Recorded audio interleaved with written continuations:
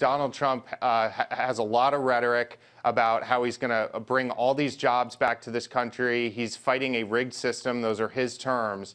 And then for him to come around and say when he doesn't pay taxes uh, that that's smart, I think that's completely out of touch with what working people are feeling nowadays. Those employees uh, that got laid off or let go as a result of his business failures, they had to pay taxes on their unemployment insurance. He's also talked about gutting the unemployment insurance uh, program uh, to create, uh, you know, a sham uh, family leave plan. So I, I, I, just I'm trying to hold him accountable for right. characterizing himself as a champion of working people.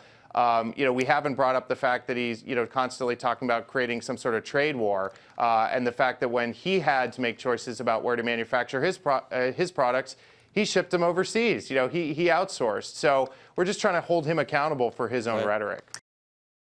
Hey CNBC fans, thanks for checking out our YouTube channel. Here you're going to find videos packed with all of the information that you need to be smarter about your finances. You can subscribe by clicking right here and click on all the videos around me or the eye right here to watch the latest from CNBC. Thanks for watching.